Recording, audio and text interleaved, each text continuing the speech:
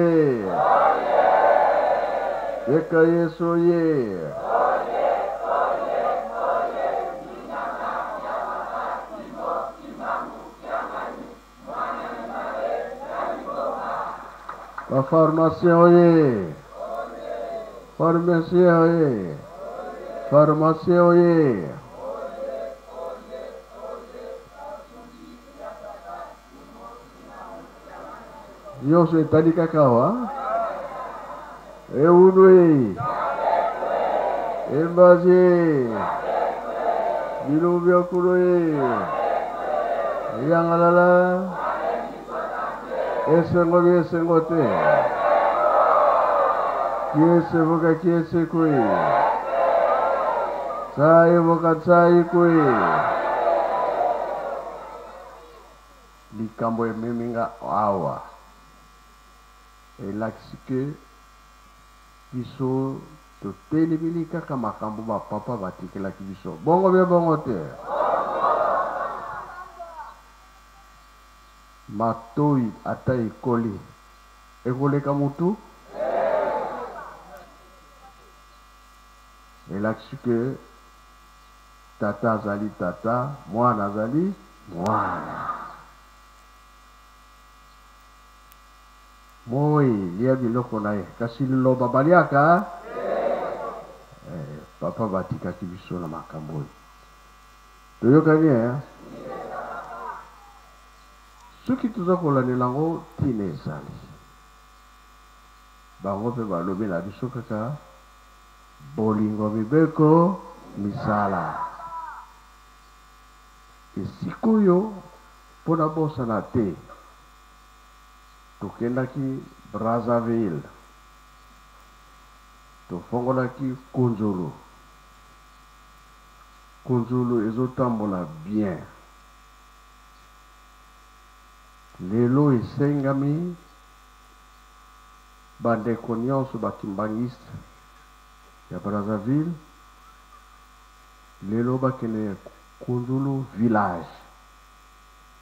Trains ekobanda na Kunjulu village tee na nzela monene. Donc elanga nionso esika bapesaki biso mabele nzela ekoleka wana tee soki ekomi na Brazzaville a mituka ya minene na ba Peugeot ba marques nionso na ba taxi. na ba velo ebanda kokoma na kunzulu esengo bien esengo te lelo soki bakei lobi leta akozala o mpe bakosala nzela wana ba portugais bakozala toki soki baza kolanda ngai nalobi yango mpo ete biso awa toza mosika baoyo baza kuna na braza Batosa. Bakende be bakende te? Elakisi ke likambo Papa Mfuma Longo alobaki, depuis alobelaki yango ke Kunzulu wana bozo komona industriel, donc soki oke kuna na meme na bateau Kunzulu village okiti oke na Kunzulu centre, Oza na mutuka ndenge moko donc ba facilite biso deplacement kitoko mabe to malamu? Depuis papa alobaki yango 40 ans yango oyo date oyo ye apesaki na date ya lobi Juste juste ndenge alobelaki yango esalami pe bongo ba beto malamu pona nini tozo tosa maloba ya ba tata awa pe ekokomela biso na misala tozo sala po soki tolandi oyo ba papa balobaki bolingo mibeko misala Ba savants bakobima be bakobima te awa bazali te lakisa nanu misapi totala na bango oyo liboso eh? me couleur yango te ozongisa bacouleur oyo lokulu alo abo tomoni yango Ezali pamba te oh ba papa ba non oyo papa alobi yango tokosalela ata bino botiki na bino ngai nakotika te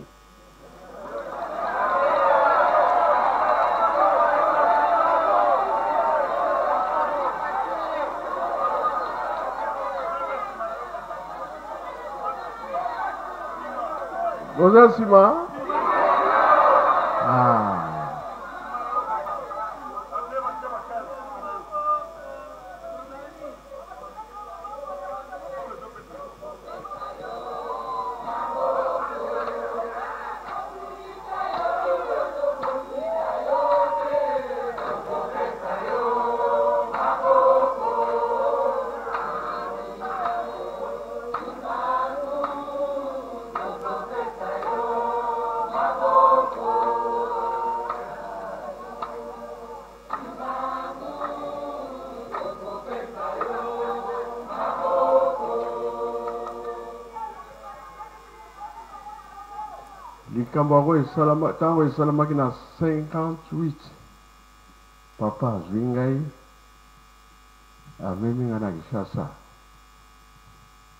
Toke kotala papa tozalaki kaka biso misatu papa mfuma loro papa mfuma mbanza na ngai esika pe masolo ezalaki ngai nazalaki wana papa mbenza ayebisi bino bino ayebisi bino te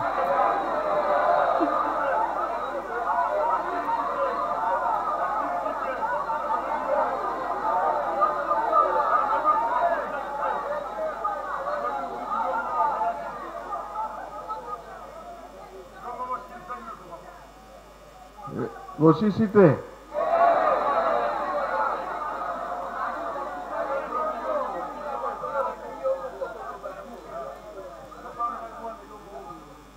te ye moko akosilisa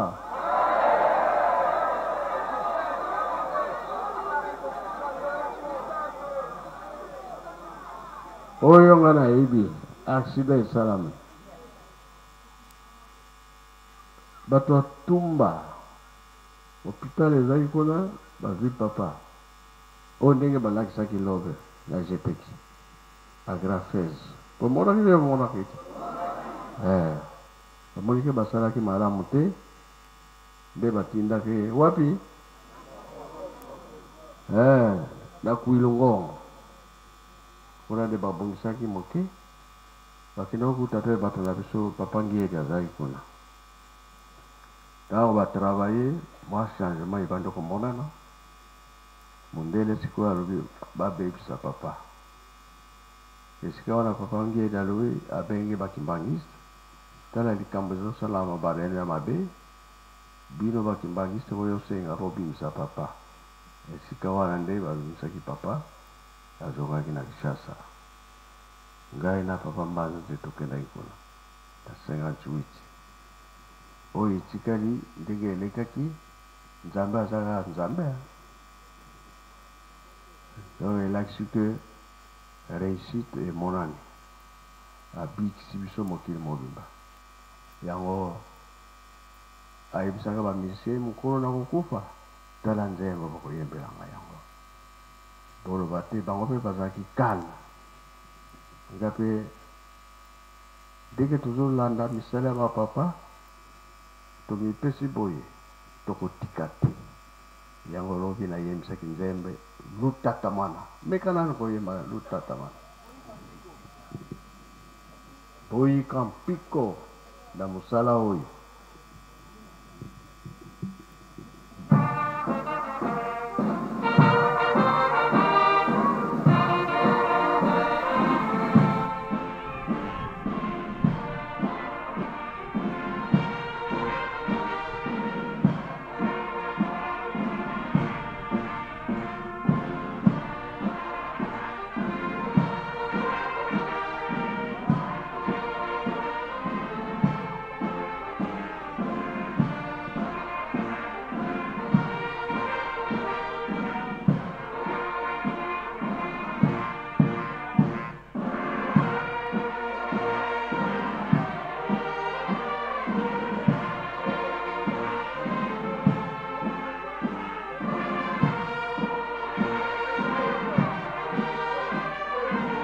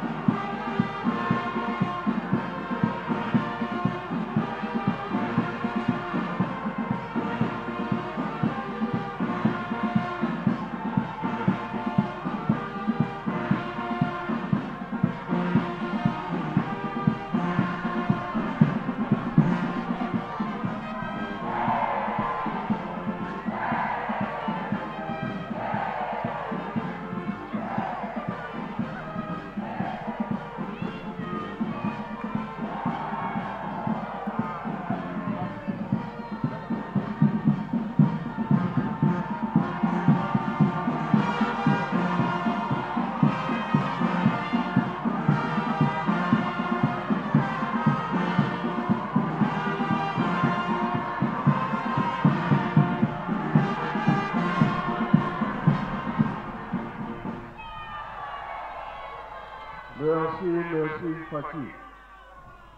Kuna manaki ba mosusu ba kozwa pongi kolala po balamuka miziki elamusa bango kibakisimo ye bosololaki mingi na papa mbenza Oh papa mbenza ayebisi bino pona le accident oyo oyo nalobaki le 9 bolandaki bie bolandaki te yango papa kimbangu aloba ye te soki okeyi te likambo ekokweya etangi bino kasi kende po likambo oyo esila Lelo bitumba ezali bye ezali te? Aah. Kasi oyo bazo sala na solo toko longwa bye toko longwa te? Yango Fuma Mbanga alobi totonga kaka Yelusalemi.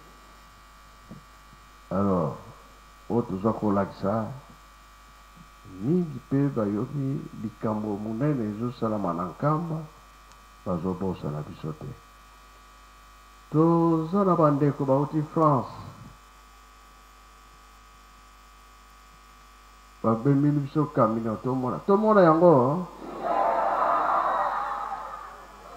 susi bazaki na yango balobi ah papa kuna baza na mpasi tike te tokanisela bango me bakobimisela yango awa awa donk bino nyonso na ndambu awa totika place soki baza pret baya balakisa biso biso tolongola malem malem tolanda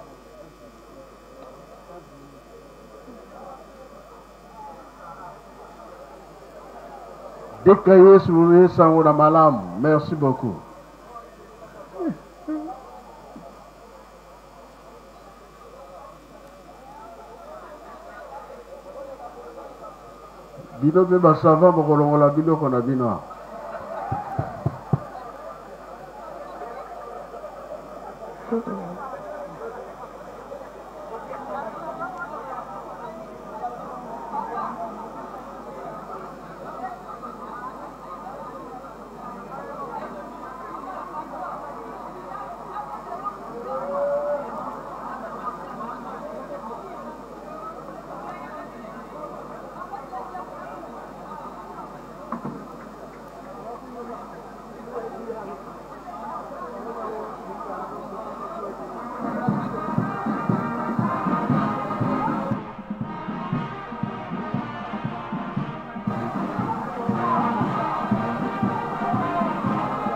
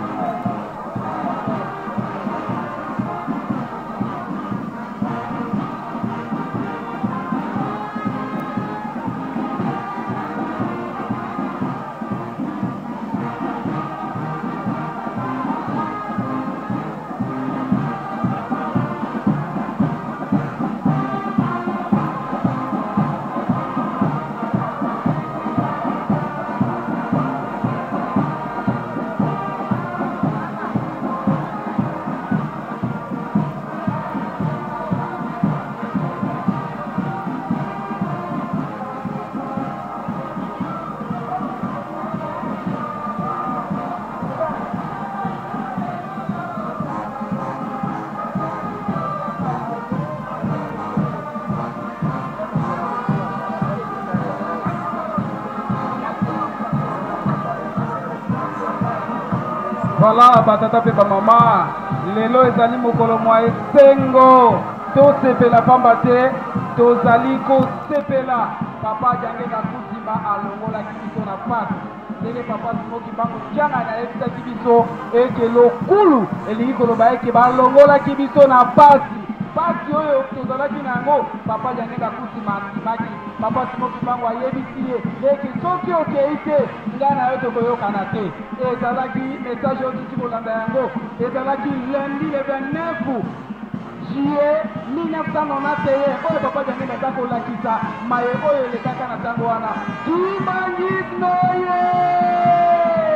Touti kolanda maloba ya Papa Molimo Mosantu ete bandeko ya France bakaniseli Nzambe Molimo Mosantu ete misala mizali na nkamba mpo na kokokisa maloba ya Papa Mwambanza totonga nkamba soki totongi te mpasi na biso ekoki kosila te baye kobonzela Nzambe likabo ya kamio oyo bazali na mosika bayeba ete esengo esengo makasi ezali awa na kama ya litelemi ya sika na mokolo mwa lelo ya le 30 juillet la 2024 awa na kama ya litelemi ya sika Epema makasi pamba te same molimo mosantu epe papa koteye direct papa andre meza kiangani bayebisi biso basekle ya likolo oyo batata batikaki oyo bakangaki yango mpo na lokoso lwidu yango mpe papa simotimango kiangani alobi nakotika yango te nakolanda yango ndenge batata batikelaki yango ndenge kaka tozali kosalela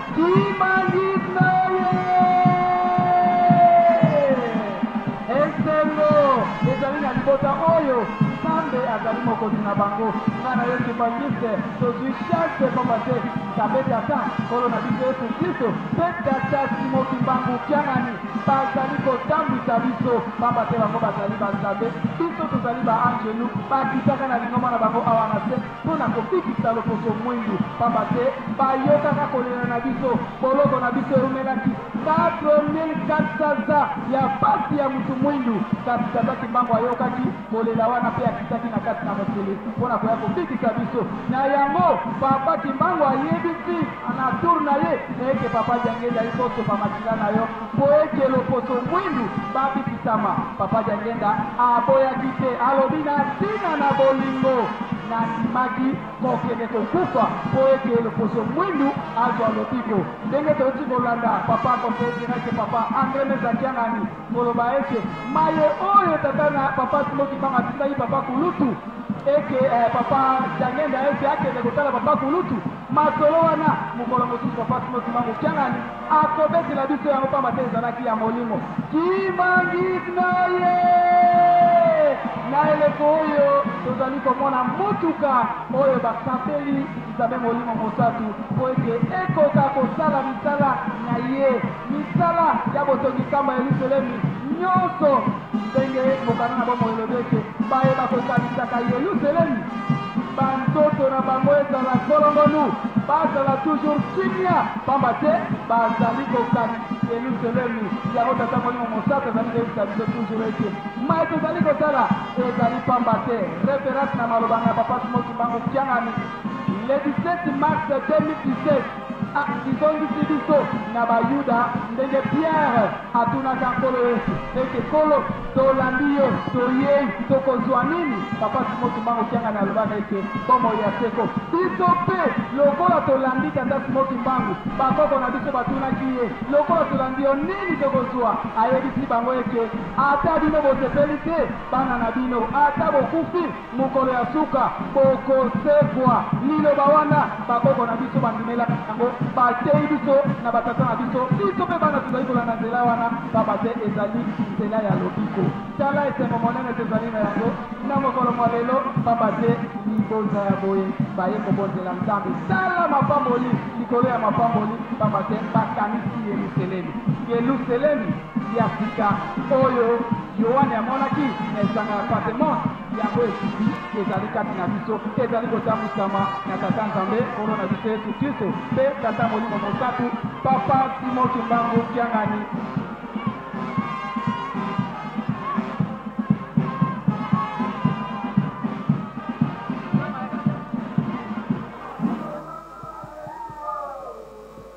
Bon.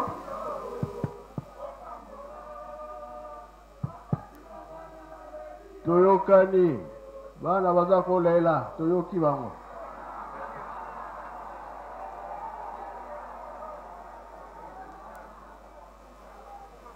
Mutuka yango oyo. Bolingi, bolingi bomona oyo baye nango? Ba tata botelema topesa bino mbote.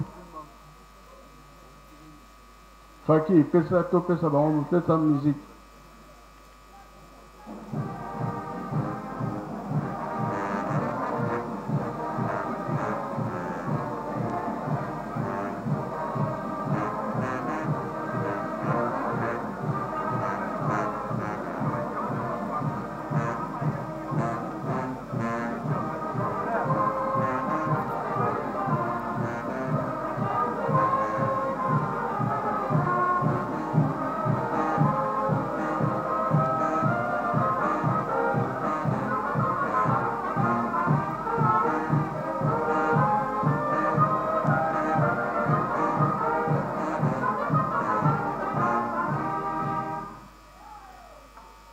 Musala oyo ya Delaville nga moko na botoli yango. Tika ete topesa bango mbote na kombo misato, na kombo ya Tata, Mwana, Tata Molimo Santu.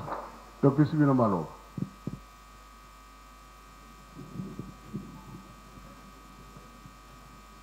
Na kombo na Tata, Mwana pe Tata Molimo Mosantu. Papa Simon Kimbangu Kiangani Nzambe na biso, yambo tozongisi matondi mpe matondi epai na yo mpamba te okomisi biso mokolo mwa lelo awa na kati ya mboka esantu. Tosengi bolimbisi papa, yambo tozali kaka bato ya masumu. Maye manso tokosalaka na se ya tango nionso ezalaka nango mabe. Yango olobaka tango nionso ete ba anjelu kutu na likolo balingaka koniata kutu mabele oyo te posi ebeba esumuka. Bongo biso batu tokovandaka na mabele yango tozali kaka batu ya masumu? Limbisa biso papa. Papa merci mingi. Merci mingi encore une fois. Na mbula oyo euti koleka kaka na sanza oyo ya juillet nayaki na bandeko na ngai toyaki mpo na kopesa willis oyo osengaka ntango ozalaka na brazzaville na 5 mois Nde obengisaka ngai kuna mpo opesa ngai mission wana. Mosala na yo eza mpasi mingi, Papa. Kasi na ngolu na yo, Papa, tozali kobunda na malembe malembe. Oyebisaki ngai nakende naluka baninga na oyo baza na lingomba te.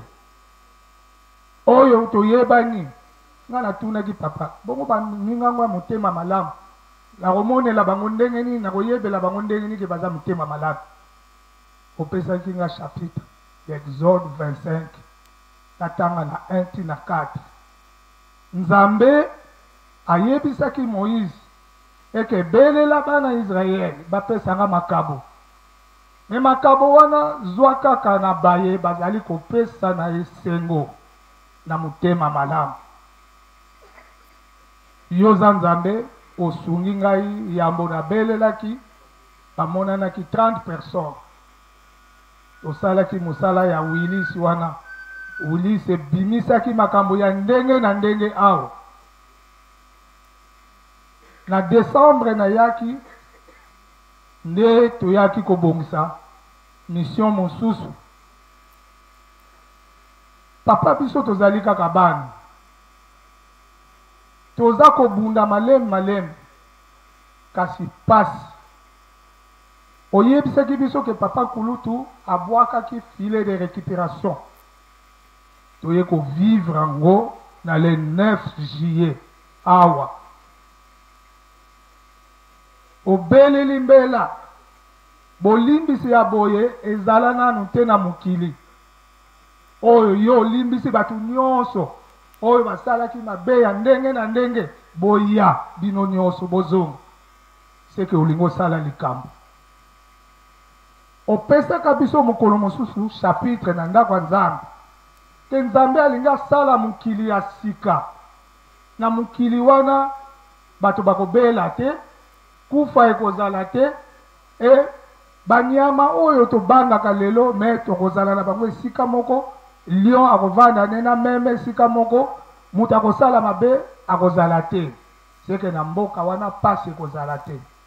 Ezali na Ezayi 65 na 17e verset ti na 25. Biso tozali kolanda yo. Oui toyebi qu'oza nzambe mais ba doute pe ezalaka nango ebele na batu misusu pe biso moko tobengaka kaka nzambe nzambe mais na misusu il faut zala na discernement ya malamu po ya koyeba pona komona pe koyeba yo ozali nani nasengi bolimbisi epa na yo Na papa mfumua mbangu nakopesa temoignage moko kaka bolimbisa nga papa misusu wana nakoloba te mais nakoloba moko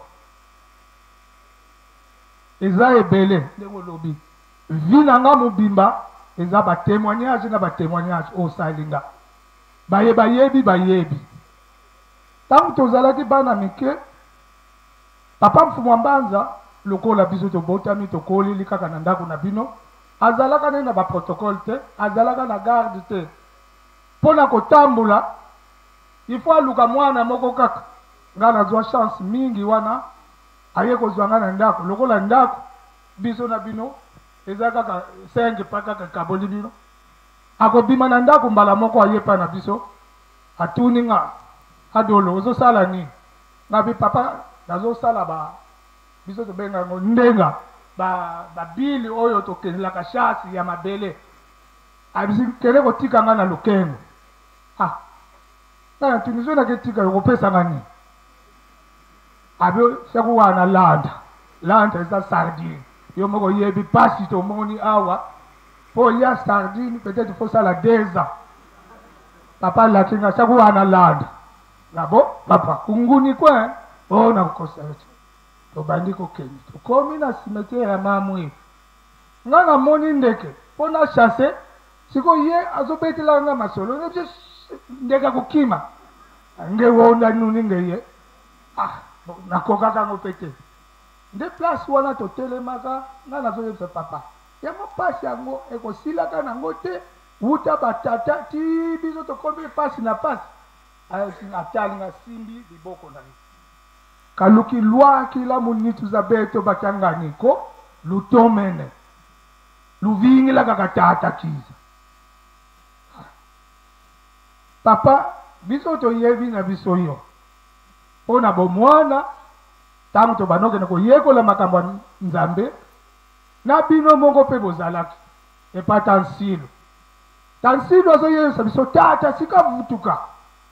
Ah, biso nyonso tozobudeka ata bana mike me bo nsabi nkutika vuata bweka kala abi bozela kaka bokomona etango tozoloba bongo papa mfuwa mbanza aza wana parceke biso tozalaki na droit te ya kokima mercredi na vendredi kone koyekola makambo ya nzambe nzoka azalaki na raison mpo na koprepare biso tata tomoni ye to tomoni ye te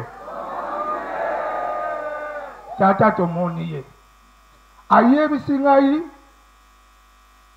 kende kotuna tata na yo tata oyo aboti nga mpo mikanda na ye bino moko boyebi ye moto abandaki kobomba yango oyo misusu bakurie ebandaki kowuta soki wapi kende alakisa yo salaire ya mondimi ekozala combien votata wizi na ye epai ya tata natuni ye Tala makambu papa ayebisi nga bi ye moko mutu ayebisi nga ye mutu ayebisi nga tata akoti na ndaku abimisi boite moko boye tangu alakisi nga mikanda ayebisi nga mbongo zizi kulengi lenda za manako pendant six mois mais mukuna kulufuti kaka bena mais mbongo wana ko kolia ngo six mois te donc chaque mois oyaka nango wa liboso nanu esili te wana nanu esili te Ah!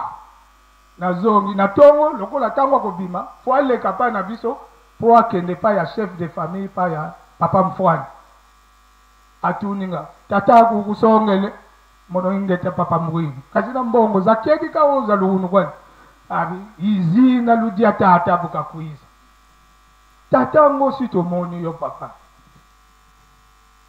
Yo oyebisaka ngai wana eza makambo ya biso mibale oza mvuama ya mvuama ngai kutu na discuta pa na yo moko oyebisa ngai oyo oyebisa ngai na komi na 2013 na Italie ta na komi na Italie na beli makasi na bengi papa ah kasi ngai na yaki vacances ndenge nini na beli na hôpital na salle des semaines batunisi ko balobi nini ba papa basengi 15000 euros nakozwila yango wapi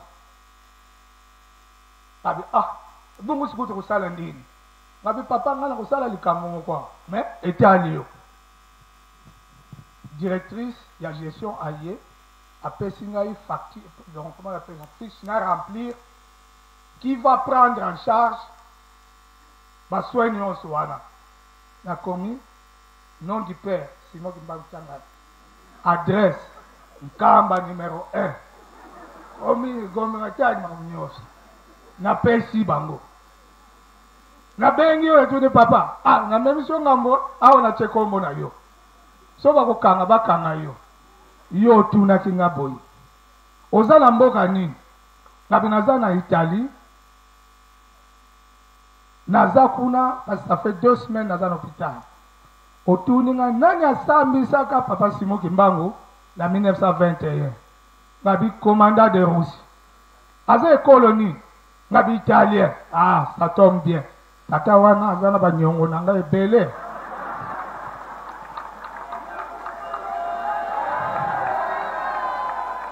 oyebisi nga yebisa bango bakende kozwaka na konte ya mbongo na nga wana oyo azalaka nango après gestionnaire ya hôpital aye ati ah, ton père est passé hein, il a payé tout d'ailleurs il a payé pour six mois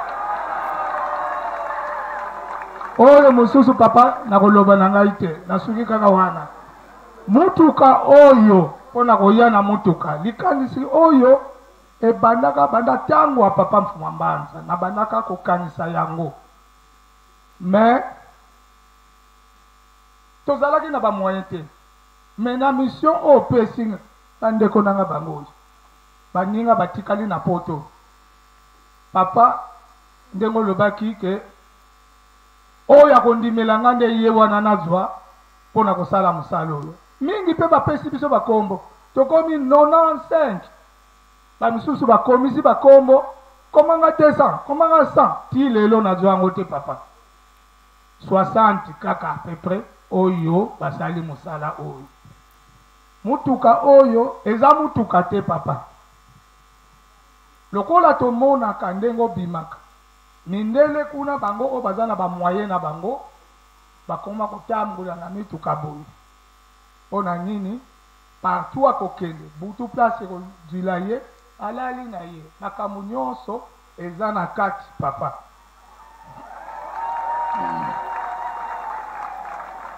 Yango tomonaki na ba ndeko nayaki kotuna yo na papa Mfuambanza lokola bo autorisaki ngai sala yango yango tokeyi na baninga tokesala yango awa oza na eloko ya koluka te kuna na kati papa nyonso tobongisi yango ezali kuna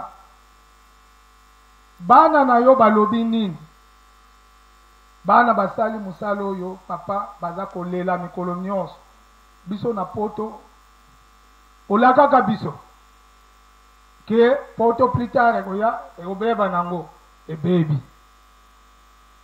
misala eza susu malonga te bandeko mosusu ti lelo baza na mikanda te bandeko babali baza na mabota te papa bongisila biso yo ozali nzambe nyonso oyo tozomona na mokili eza ya yo mutu neti nga particulièrement papa nayebi yo oza nani na nionso oyo osaleli ngai vie na ngai mobimba na ba ndeko na biso alors soki yo opamboli biso biso tokosala ya minene oyo nionso okotinda biso po makambo oyo ndenge opekisaki ngai nake na yango na lingomba te pasteur moko te akoloba na ngai ke napesaki communique na ndako ya nzambe moko basala nsinsani te Na kendaka de bouche en bouche ah muninga tala likambo na za nango omoni ndenge nini ah nga na sepeli oh wana se ba misusu pe ba sepeli na bango te donc to saleli yango na ndenge wana pambola bana na yo oyo baza ko niokwama butu moyi po ete to zala na ba moyen e permettre biso to sala biso toza ndenge olobi to zala sima na yo Biso kutu après yo kaka na sima wana après tricolo soki veste na yo biso toza wana soki osengi biso totelemi toye mbala moko bongisa bongisa papa coach ya mundele soki coach tobengaki ye na reverend oyo ya ya Kinshasa a partir ya poto tolandaki ye alobelaki yo likambo moko papa biso mpe toapuyaki ye kuna papa eh? biso tozali bana na yo biso nde motu toyebi ye baye oyo oza kopesaka mikolo nyonso bayaka ya parazar ayawa azwi akei apres ntango koya o oh, papa lakaka ngai na kokoma ministre o oh, na kokoma pdg babunga na bango biso bana oyo 3000 biso 10000 papa asengi biso kaka 50 azosenga biso kaka yango papa eh? pambola nde biso mutu toyebi yo mpo biso obenga butu moi tokoya pambola nde biso bana na yo toyebi yo Po oyo wana ya par hasard si bakenda na bango papa. Ba bakulutu baloba kingana kya taba mbuta bavue teke ngumbi kwa ndungi ngatu swanuino supu lumbu kya nkaka teka ngumbi epai na biso moto oyebi yo to bandungi biso mokolo mosusu ntango ozoleka tuni e eh, nabengi Tata sima wisa supu tulembe ole na yo pe kaka supu wana bona pona kokende mosika te papa merci mingi na nyonso osali motuka oyo pona kosymbolize presence na yo na kati na motuka oyo ba pied gauche bango mutu bakolakisaka elembo ya lokumu oyo ya yo Esika wana ozali, bendele faut etelema. Bakoya kotia bendele na mutuka oyo. Elakisi ke tango ozoleka ezopepa bayebi ke Nzambe ye wana aza koleka. Na yango topesi maloba na mokonzi ya mouvement ya MSSK, Papa president leka osala musala avant to invite ye moko nzambe na papa mfuma mbanza batala mutuka.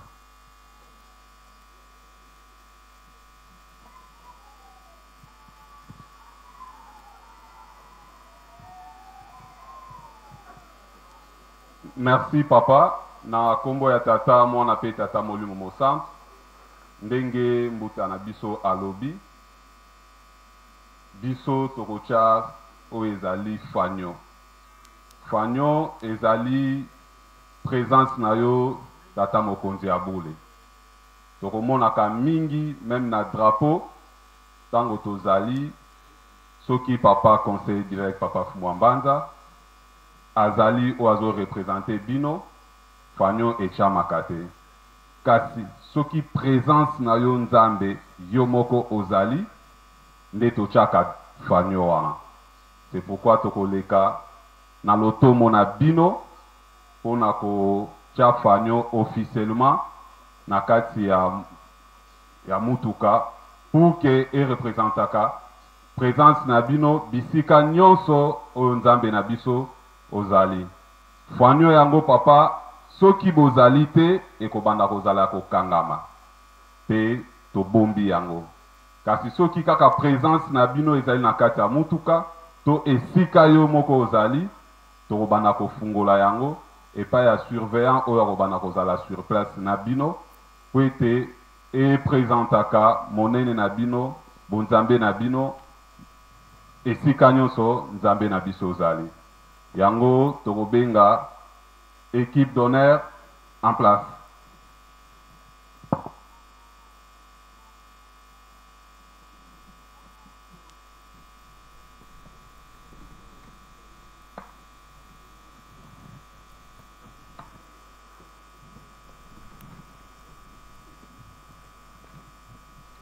Attention.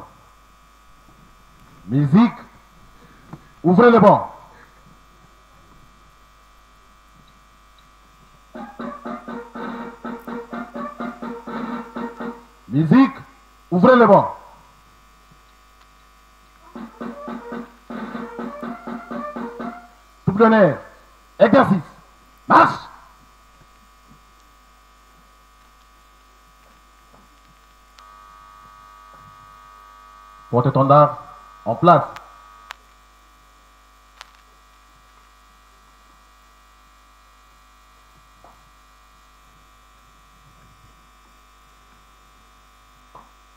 tosengi na vice-président en charge ya finance akoka koleka liboso mpo apose ribon musique au champ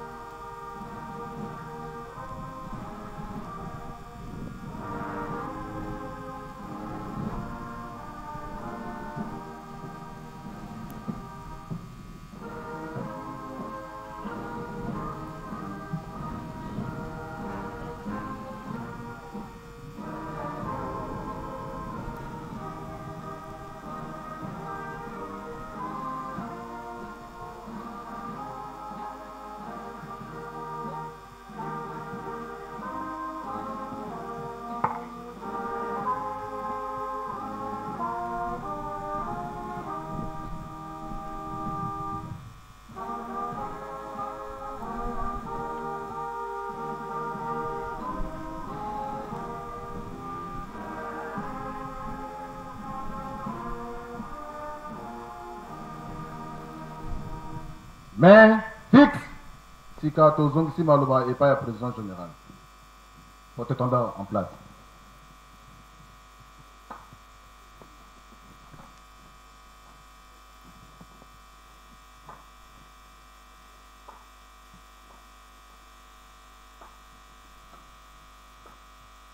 nde na yango tokoinvite tata mokonzi ya bule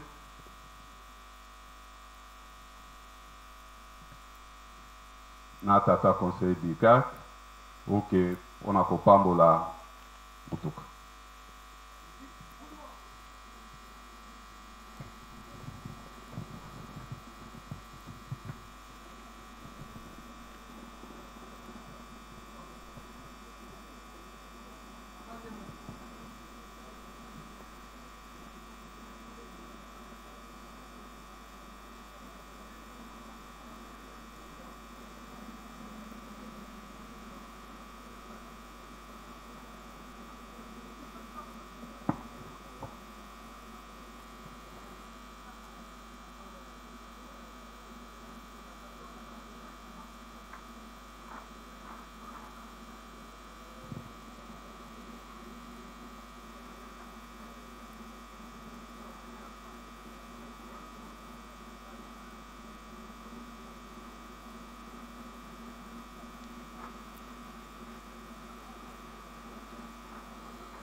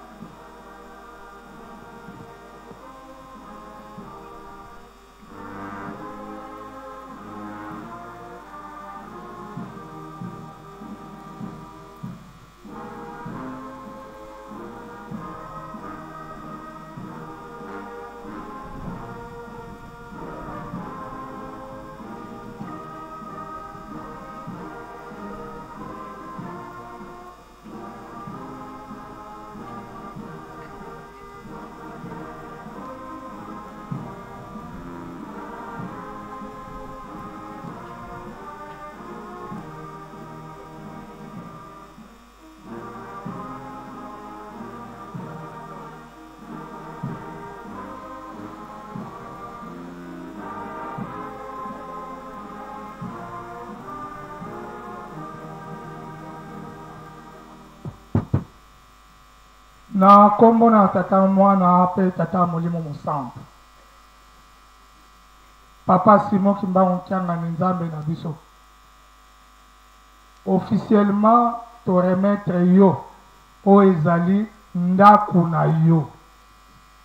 Ndako mobile obanda kotambola na yango. Na yango tozali kosenga na biso banso bandeko kimbanguiste to respecter ndako ya papa. Bomoni ndenge tokoti kuna? Kaka ye moko moto akoti kuna.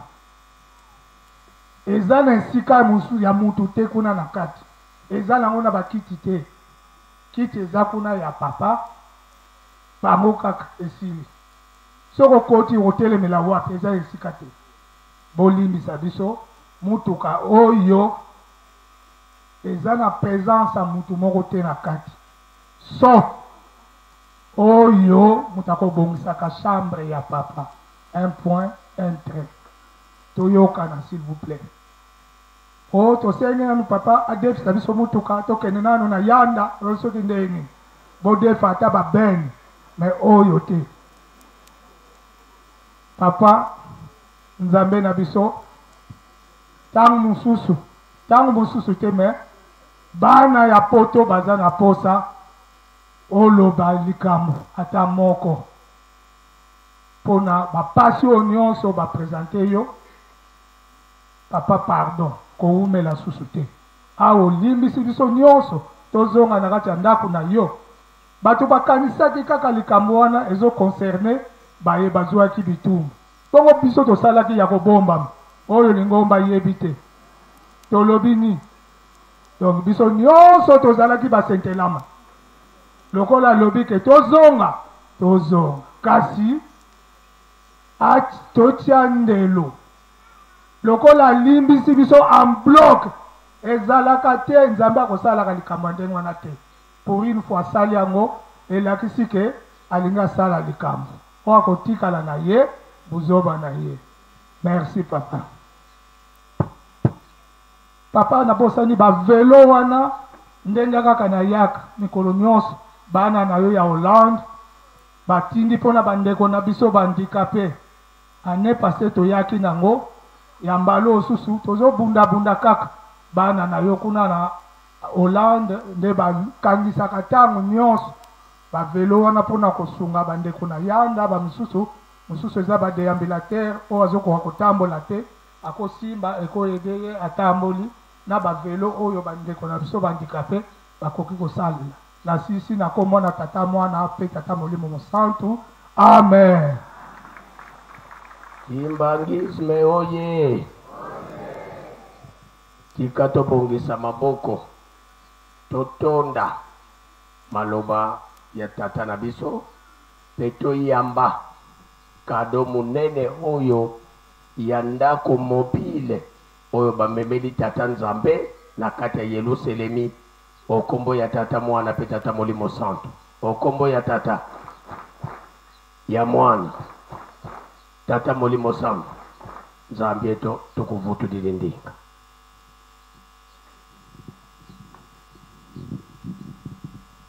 Kimbagizi oye! Oyo likambo be likambo te. Ya liboso nga na sepeli.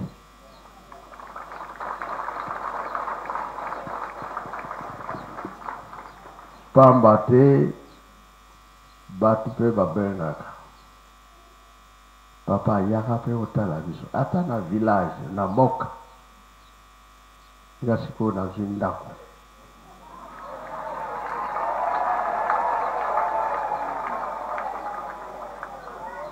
Oh, epai na biso residence ezali te, benga kaka nakoya.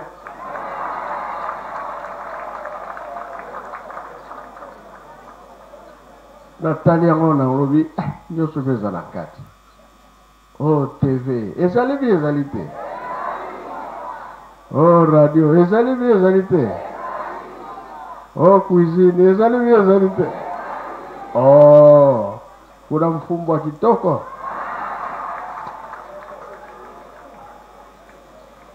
makambo nyonso eza ya kokoka ya kokoka Benga na yo nakoya ata na mboka ata ndaku eza te nga pesa na ndaku na ngai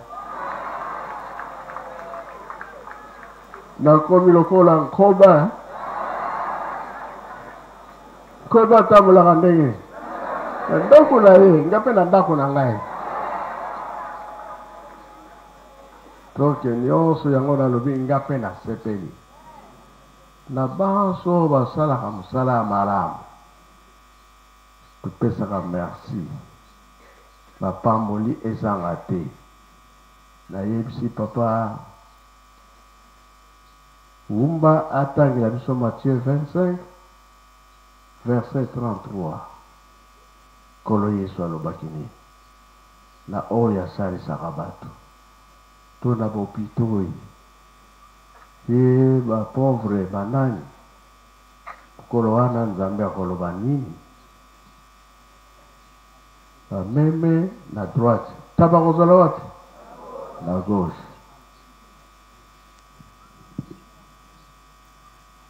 Na kombo ya Tata muana pe Tata molimo santu papa apesi biso totanga mokanda Matai chapitre 25 verset 33. Akotia ba meme na liboki. Akotia ba meme na loboko ya mobali pe ba ntaba na loboko ya mwasi. Continue, eza molayi ti na se. Bongo mokonzi akoloba boye na bato oyo bakozala na loboko ya mobali, Boya, bino bato. Tata na ngai akbenisa, mpe bokota na bokonzi oyo abongisela bino wuta ebandeli ya mokili. Pamba te tango nazalaki na nzala, mpe bopesaki ngai bilei, nazalaki na posa ya mayi, mpe bopesaka ngai mayi ya komela, nazalaki mopaya, mpe boyambaki ngai. Na ndako na bino, nazangaki bilamba pe bopesaki ngai yango, nazalaki na malade pe bosalisaki ngai, nakotaki boloko pe boyaki kotala ngai. Bongo batu ya malamu bakotuna ye, Mokonzi, tangu nini tomonaki yo ozali na nzala, bongo topesaki yo bileyi? to ozalaki na posa ya mayi, bongo topesaki yo mayi ya komela? Tango nini tomonaki yo ozali mopaya pe toyambaki yo na bandako na biso? To ozangaki bilamba pe topesaki yo yango? Tango nini tomonaki yo ozali na maladi to okotaki boloko? Mpe toyaki kotala yo. Boye mokonzi akozongisela bango, Nalobi na bino, ya solo, mbala nyonso bosalisaki ata moto ya suka na kati ya bandeko na ngai, bosalisaki ngai.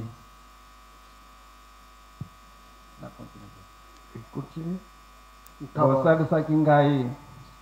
Na nsima, mokonzi akoloba boye na bato oyo bakozala na loboko ya ye ya mwasi, Bolongwa na miso na ngai, bino bato Nzambe abwaka, bo, bokende na, mo, na moto oyo ekufaka te, oyo babongisela Zabolo na bazabolo na ye, Pamba te nazalaki na nzala, pe bopesaki ngai bilei te, nazalaki na posa ya mayi, pe bopesaki ngai mayi ya komela te, nazalaki mopaya, pe boyambaki ngai na bandako na bino te, nazalaki, nazangaki bilamba, pe bopesaki ngai yango te, nazalaki na maladi, pe nakotaki boloko, kasi bosalisaki ngai te. Bongo bango bakotuna ye, Mokonzi, tango nini tomonaki yo ozali na nzala to na posa ya mayi, to ozalaki mopaya, ozangaki bilamba, ozalaki na maladi to okotaki boloko, bongo tosalisa yo te? Mokonzi akozongisela bango, Nalobi na bino, ya solo, mbala nyonso bozalaki koboya Kosalisa ata moto ya suka na kati ya bandeko na ngai, bozalaki nde koboya kosalisa ngai, bongo bango bakozua etumbu oyo esilaka te, kasi bato ya malamu bakozua bomoi ya seko na kombo ya Tata, Mwana pe Tata Molimo Santu. Oyo Nkolo Yesu alobaki. Elakisi que lisalisi osalisaka mutu osalisi mutu wana te mais osalisi nani? Nzambe. Elakisi que to repondre na ba oyo nionso basungi biso mpo na camion oyo. Tosalaka makambo mingi na lingomba. ba difficultes ya batu kasi ba kengi nde basalaka musala wana ba kengi basalaka yango pe basalaka te ba tambolaka pe ba tambolaka te bisika nionso eh kotala ba ndimi koyeba pasi ezali wapi tosalisa batu wana Ozo salisa mutu te mais ozo salisa tata nzambe ye alobi 60 mais biso pe tolembi te ata muke yy bomoni mutu alingi asalisa ndima ye toyokani eeh nga na pesi merci bo salisi biso po soki tozo ko mona na bisika nionso de grace batu oyo bazo pesa biso maboko. Mpo kotango na mokolo ya lelo na makolo est ce que toko koka lisusu? Ba nzoto ekomi lokola siphon moyen lisusu te hein bongo pe bongo te kasi ba salisi biso ba pesi biso mutuka mutuka te mais ndaku nionso eza au complet Ah biso residence ezali te papa moyen tobenga eza te benga sikoyo benga na naya nanga pona lelo tosilisi na bato oyo bapesi velo tosepeli mingi pamba te date ya bandeko na biso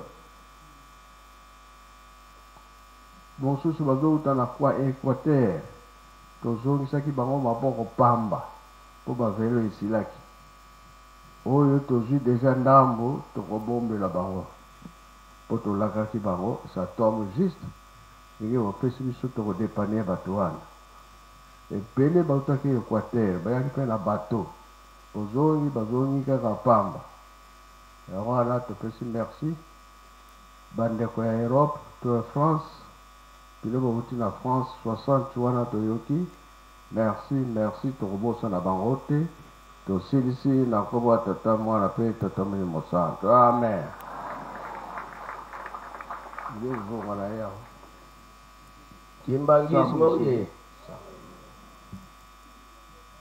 kimbangisme oye teka yesu oye batechnicien oye Ba pharmaciens oyee!